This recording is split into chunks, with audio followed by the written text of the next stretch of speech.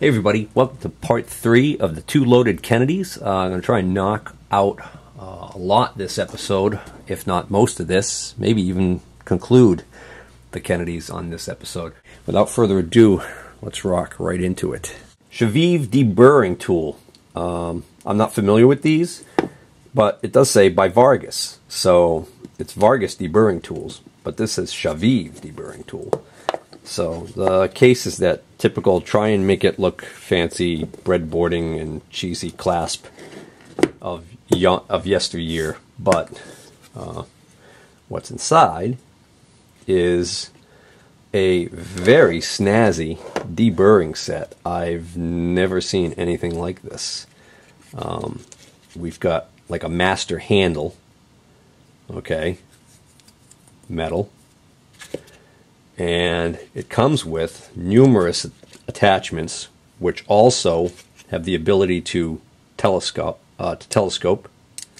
All right so must be a way that this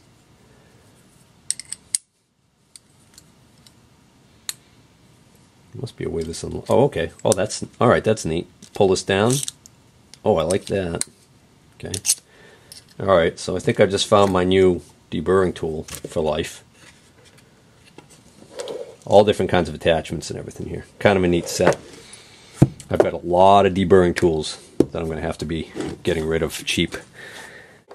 When I first saw this, I thought it was like the other set that was in one of the other boxes, which was just a little lame uh, little tool kit uh, with a little tiny quarter inch drive ratchet and a bunch of various bits. Um, turns out, no, this is the Unibit set by Irwin. Okay, step drills.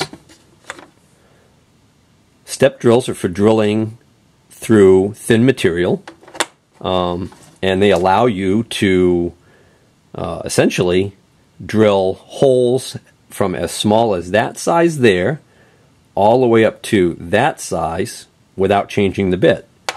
And then with this set, being able to change between these four, you can you can drill holes in thin material from this little size right here, okay, which is an eighth of an inch, all the way up to this size here, which is an inch and three eighths.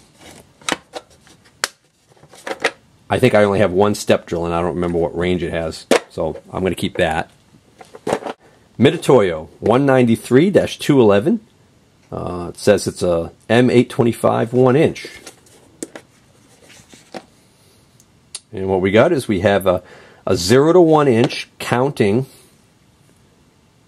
uh, direct reading tenths micrometer, 0.0001. Ratchet thimble. No, not a ratchet thimble. Friction thimble. Friction thimble. Lock works. Works nice and smooth. Everything seems to be working perfectly fine. That, that's a nice little find right there. Hmm. Might have to, I don't know. Thinking of keeping that one, I don't know. This is a nicer box. Starrett. Okay. Doesn't have the, the pretty little bead boarding that you have on the other one, though. But this is solid wood. Tell by the end grain. And what is in this beautiful Starrett fancy box? Eh, it's okay. It's uh, what it is is it's uh, one of these uh, Starrett 657 um, magnetic indicator bases, which I have a couple of these now. Uh, it's in really nice condition.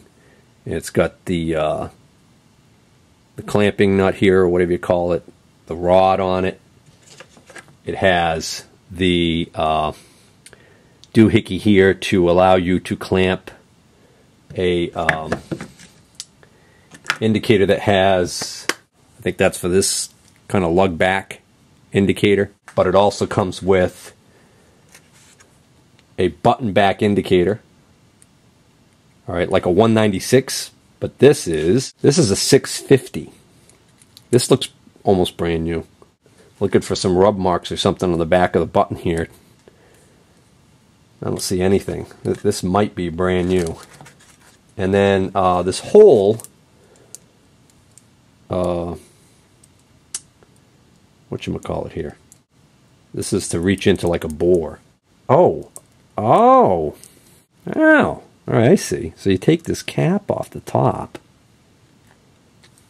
and you screw this on. All right, so when you look down inside this hole after you take this cap off, there is a uh, the rod. Okay, that that this right here continues in, and on top of that rod there's a pin that sticks up. And what you have to do is you stick the other end of this that has a hole in it down over that pin, and then thread this on. And you have now converted this indicator into a nice, long-reaching uh, indicator for the inside of a bore. Okay, this would be great for lathe work. So this this thing will do everything that a button back indicator like a 196 will do and more. So um, I think what I'm going to do is I'm going to keep this sweet puppy for myself and um, sell my 196 set. I just sold one. It was an older one I, I had just acquired with this lot. But I have, I think, one that I kept for myself and I actually even have, actually still sitting right here on the bench because I pulled it out. I pulled this one out for somebody who was looking for just a 196 without the kit, which I have one here. I don't know if this is going to suit his purposes or not, but I could I could dump all my 196s, keep this, and I could also dump my extra um, 657 mag bases. And that's how I'm going to justify, in my mind, keeping this uh, expensive set for myself. So this is the uh, the set. So it's called a, uh, a 657-650Z. The 657 is the mag base by itself. The 650 is the indicator by itself. And then in the set, it's the 657-650Z. The um, suggested retail price on the current website for Starrett is $570. Amazon I mean, a lot of us know Amazon is a great place to get pricing on things. Here it is. It's $600.15 with free shipping. So let's check eBay. All right. So here's a guy on eBay. He's selling them brand new for 606 with free shipping. All right. So then, oh, $303? No, because look what's right below it. The first result that comes up is a used one that, you know, looks like it's in pretty good shape. 149.95 or best offer with fast and free shipping. If you're looking for one of these sets and you're drooling over this one and you this video isn't old by the time you've seen it, I would go check this thing out. Throw an offer at this guy and see what he'd take for it. Let's see what they've sold for in the past if we can find any. None of those have sold in the past. Uh, 90 days or whenever it is that the sold goes back to these days. So it tries to find something close. The closest thing it can find is it can find the 650AZ1, uh, A1Z set, which appears to be the indicator, the 650 indicator with some attachments, but no mag base in a regular case. Uh, brand new, it sold for $480. That's as close as we're going to get by the looks of it. One last word about this set that I found on eBay. It's actually not the same set. Uh, it's very close.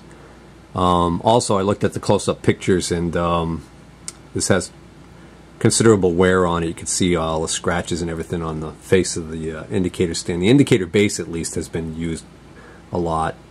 The indicator itself looks clean, uh, but it's got different attachments. You can even see the layout is different than on mine, or is it just upside down? Now it looks right. But it doesn't have this attachment. It doesn't have this long reach hole attachment. It's got something else in the corner there. It's got an extra long straight point that doesn't swivel. So it's a little bit different set. Hmm.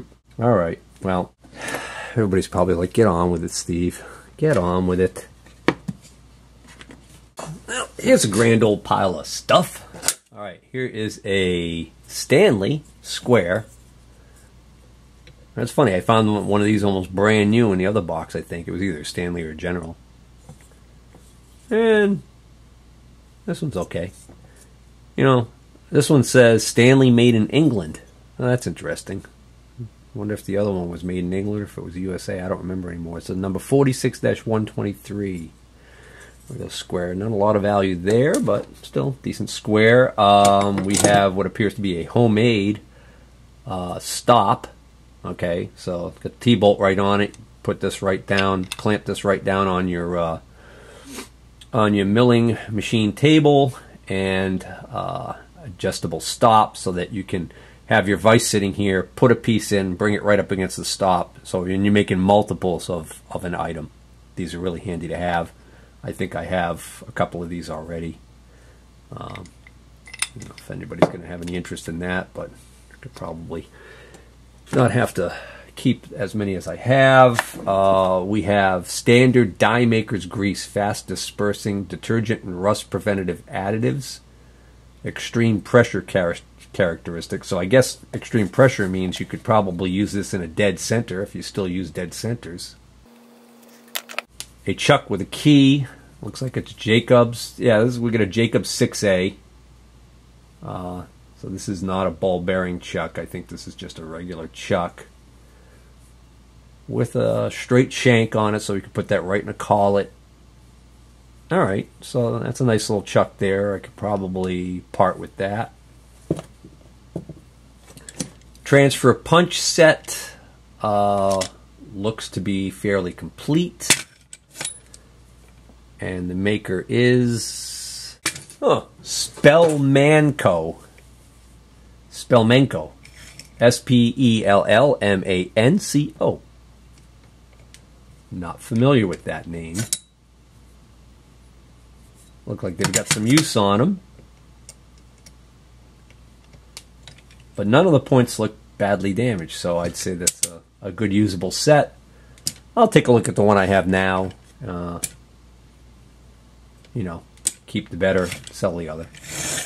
This is a collet stop. Uh, for those of you who do not know what a collet stop is, this particular one is a Hardinge SS5C collet stop. Okay. So what this is is uh, I actually have one of these already, but it's this one is um, looks like it's all original. This looks like a uh, import brand one. Okay. Whereas this this part right here is the Hardinge stop. This rod well, I tell you what's going on here. This rod looks like it's in backwards. Why would they do that? All right, so let me show you how it's supposed to work. So, um, 5C collet, not all 5C collets have threads on the inside. So you've got to have a collet, 5C collet with threads inside. I think all the Hardinge ones do. This isn't a Hardinge and it does, so that's a good sign. But, anywho, check this out. This threads in here on the back of the collet. So this threads in on the back of the collet, all right? Then you put your collet in to your fixture or whatever, right? And now you've got a rod in here that you can adjust. You loosen this lock nut and adjust this. You can adjust how far in or how deep this hole is on this collet. So again, for repeatability, if you want to do multiple items, or even if you just want to make sure that if you take a piece out and you put it back in, that every time you put it back into the collet, it stops at the same spot. That's what that's for. Pretty simple design. Um, you know, you could use this on some fixtures, but not all. For instance, you can't use this on a collet block set because the the closer or the clamping uh, device for a collet block set uh, has to be able to clear this area right here. So. So this one's a little bit of a mystery because the way it's set up right now, I mean, it, does act as a stop that way, but I mean, you'd have to use it on a pretty large diameter, on larger diameters for one thing. So that's why, to me, this almost appears as if this is on here backwards. Like if we take the locking nut uh, loosen it, take this, unthread this, spin it around so that this end is going in and doing the stopping. Or maybe it's double duty, you know, you put it in for this side for larger diameter collets and put it in for this side for smaller diameter collets. I don't know. But anyways, if I have this one, I can't imagine I ever need this one. This one seems like it's more versatile to me. even though this centerpiece right here almost smacks of homemade, like this nut and everything, whereas this appears to be all factory original. I don't know. Uh, Bondhus, made in the USA. Uh, really good shape. Don't look like it's seen much use. The ball ends on them. Uh, these are nice. Uh, eventually, I'll have to look through and get rid of a few of these sets because I have multiples. And we got two, uh, I guess these would be sheet metal tools. These are Roper Whitney. Oh, I've heard of that company. Roper Whitney of Rockford, Illinois. Uh, this is a um, notcher. This is a larger notcher. Okay. This little guy right here does this.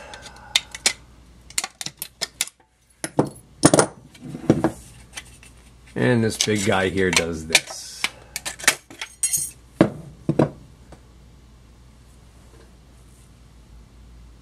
I'm just going to do two more items on this video and uh, end it there, no matter how long it is uh, or how short it is, just because I did way too much Ratchet John in the beginning there. This is a Sears Craftsman uh, number 952381 50 piece tap and die set, combination standard and metric. Um, so I don't know why these all fell out. You would think. Eh, let me take a second. Okay, I took some time sorting this set and putting things back in where I believe they should belong, and uh, right now I'm missing four pieces. This is supposed to be a 50 piece set, but what's confusing me is that there's only 49 locations here. Unless they're counting this tap handle and its rod as two pieces, which I don't get. But I mean, right now I'm missing the metric pipe tap. This pipe tap is not marked Craftsman, so it might not be original to the set. I'm not sure.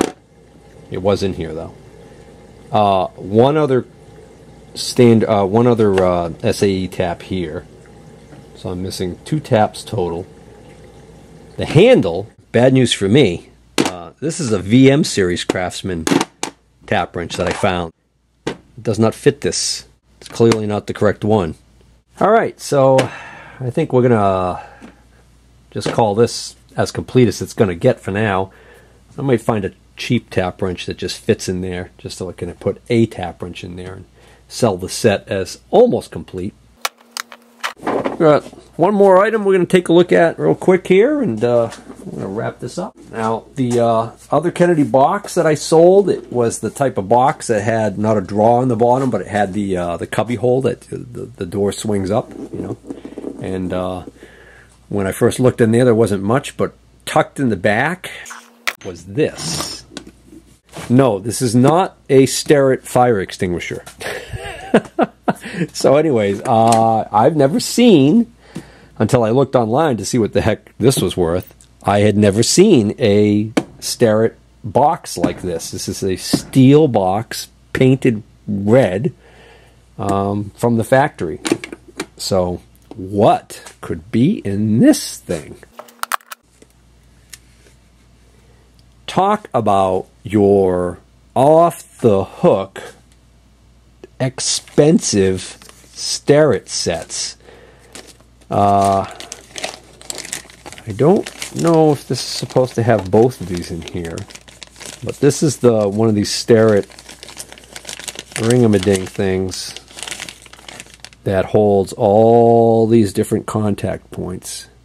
Okay.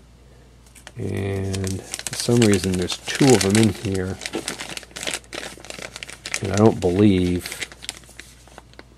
Yeah, I'll I'll go through this later just to verify, but I think that this is a duplicate, so I don't know why there's two of them in here. So I'll go through and compare these later and you know verify if they're identical and I think I've already got one set aside for myself. I'll keep the one that's the most complete and sell the other two. Uh, I know I don't even know whether or not this is supposed to come in here. I'll have to look it up. I don't even know what the name, what the part number of the, is of for this set.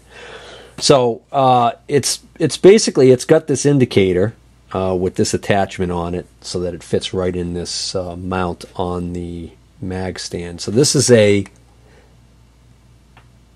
this is a Starrett 25-631 uh, indicator. drop indicator. And it's a half thousand, so it's a point zero zero zero five inch indicator. Okay. And it looks like it is a full one inch. Yeah, it's a full one inch travel. Okay. So nice enough indicator. But then what they do is they put it in this set with this mag mount, uh, this mag stand, which is just really nice. I mean, I didn't even know Starrett made ones like this. Look how thick these arms are. This is, um, it's sort of like the robustness of my Noga Big Boy stand. Uh, there's a little bit of light rust on here. That'll clean up no problem. So this is a, a Starrett 659 mag base. So just so you can appreciate the size, this is the Starrett 657 base, which is uh, more more typical what you see. Look at the size of this thing compared to this. I don't remember what this thing what the retail was on this thing, but it was it was nuts. I mean, it was just crazy expensive. Anyways, very very nice uh, indicator. Um, I would probably have kept this for myself, almost definitely. Uh, except um, I have a Noga Big Boy, which, as nice as this is, the Noga Big Boy is actually nicer. And um, I have so many drop indicators I could stick on that Noga Big Boy and recreate what this does. Secondly, um, this selling this, if I can get a, a, decent decent amount of money for it, uh, really helps chip into what I paid for all of this stuff. You know, so it doesn't really make sense for me to have as as nice as this is, and and how much I'd like to be able to just keep it in my personal collection. I think I'm going to have to let this thing go. All right, so we're going to call this episode quits here. I already uh, rambled way too much in this episode. So this is uh, part three. We'll call it Wraps right here. And uh, we'll finish everything up in part four. I really appreciate you guys hanging in there and watching these videos. Uh, seems like I'm not the only one who's a bit of a tool junkie and loves to watch these these kind of videos where people show what they get at auction and flea markets and stuff like that. One other thing I'd like to point out is I am less than 250 subs away from my 10,000 subscriber mark. So, yay! So I uh, I appreciate it if you guys are not subscribers currently. If you'd consider subscribing to the channel, that'd be great. Uh, also, you guys that have been subscribers of mine for a while, maybe you could refer my channel. If you know somebody, you think of somebody who might enjoy looking at this kind of stuff, uh, you know, let them know. Hey, you never know what you're going to get. The guy works on tractors one week, a motorcycle the next week, uh, makes a project with a lathe or a mill occasionally, uh, does a little welding occasionally, uh, channels all over the place. It's like a box of chocolates. You never know what you're going to get, but there's a little something for everybody. All right. Take care.